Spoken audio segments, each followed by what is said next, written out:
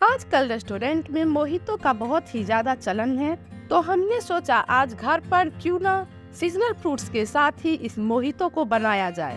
तो आज मैं ऑरेंज मोहितो वाटरमेलन मोहितो और स्पेशल कोकम्बर मोहितो बनाऊँगी। इस मोहितो का फ्लेवर बिल्कुल रेस्टोरेंट स्टाइल ही होगा। पिजीज किचन में आपका स्वागत है और चलिए बनाते हैं तीनों तरह के मोहितो।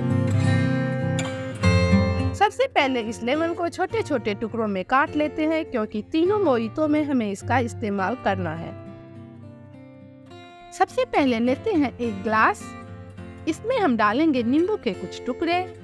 हमें ऑरेंज मोहितो बनाना है, इसीलिए हम इसमें डालेंगे ऑरेंज के टुकड़े। थोड़ा सा पुदीना पत्ता, आधे छोटी चम्मच काला नमक, एक चम्मच चीनी पाउडर और इन सारी चीज़ों को इस तरह से मैश कर देंगे।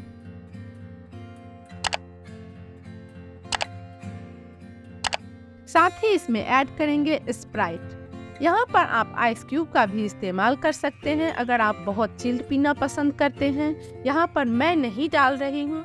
अगले मोहितो में आइस डाल के भी आपको दिखा दूँगी। और इसके ऊपर से डालेंगे पुदीना के पत्ते, लेमन के टुकड़े और ये ठंडी ठंडी ऑरेंज मोहितो बन करके तैयार है। ऑरेंज मोहितो बन करके तैयार है। अब बनाते हैं वाटरमेलन मोहितो बिल्कुल उसी तरह से ग्लास में डालेंगे नींबू के कुछ टुकड़े वाटरमेलन के कुछ टुकड़े, पुदीना के कुछ पत्ते, आधा छोटी चम्मच काला नमक, एक चम्मच चीनी पाउडर और इसे हल्का हल्का हम मैश कर देते हैं।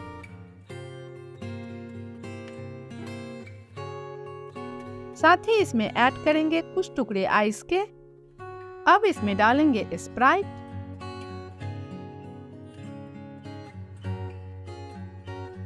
ग्लास के साइड में लगाएँगे लेमन के टुकड़े वाटरमेलन के टुकड़े और ऊपर से पुदीना के पत्ते। ठंडी ठंडी चिल्ड वाटरमेलन मोई तो बनकर के तैयार है।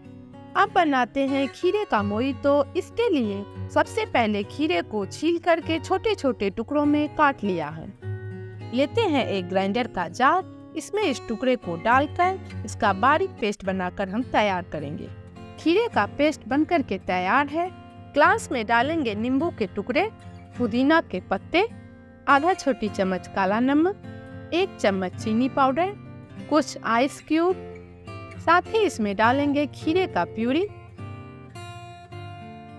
ठंडा ठंडा स्प्राइट डाल के इसे करेंगे सर्व सर्व करने से पहले इसमें लगाएँगे नींबू का टुकड़ा, पुदीने का पत्ता। ठंडा ठंडा चिल्ड कोकम्बर मोई तो बनकर के तैयार है। और ये देखा आपने, फटाफट और जल्दी से हमने तीन तरह के मोहितो बना करके तैयार कर लिया है।